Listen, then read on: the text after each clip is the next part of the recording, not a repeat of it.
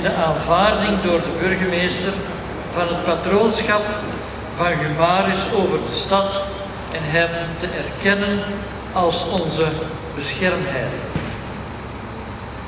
Tenminste, beste lierenaars, die vraag wordt hem gesteld.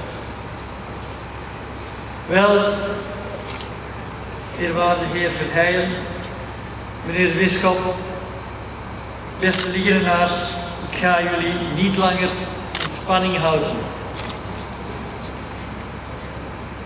Als vierde lierenaar antwoord ik als burgemeester, mede in naam van het Schepencollege van Lier, volmondig en enthousiast.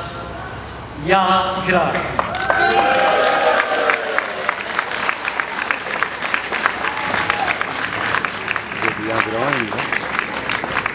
Lier zal de volgende 25 jaar verder de eer hebben om Sint-Humanus als patroonheilige te mogen hebben.